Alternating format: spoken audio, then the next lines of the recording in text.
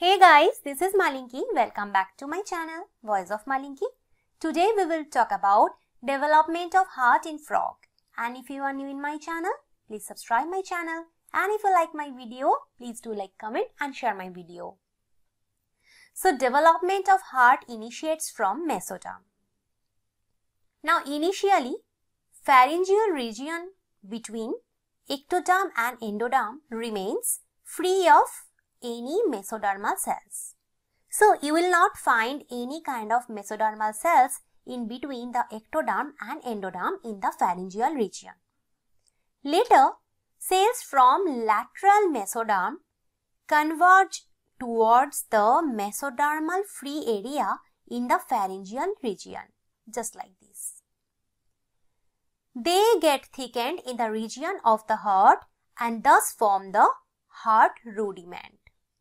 So these cells from lateral mesoderm will get thickened in this region and will form the heart rudiment.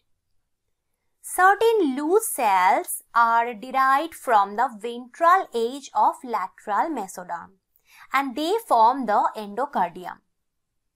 These cells accumulate in the middle line and get arranged to form the endocardial tube just like this. So after heart rudiment, we will get the endocardial tube. This tube bifurcates at the two ends.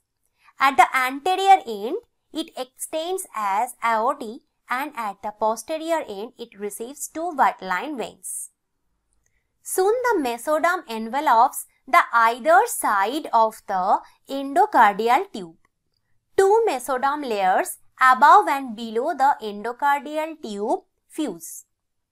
When the fusion of the two mesoderm is complete, the heart is suspended from above by a dorsal mesocardium.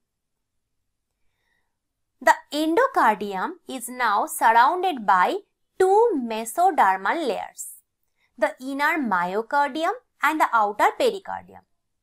The space in between myocardium and pericardium is called pericardial cavity. The myocardium gives rise to the muscles of the heart. The mesocardium disappear. This is accomplished by the rapid growth and expansion of heart itself. The rudimentary heart consists of a simple tube which becomes divided into three chambers. Two thin-walled auricles and one thick-walled ventricle. A longitudinal sheet of endocardium from the roof of the atrial chamber divides auricle into left and right chambers. And ventricle remains undivided.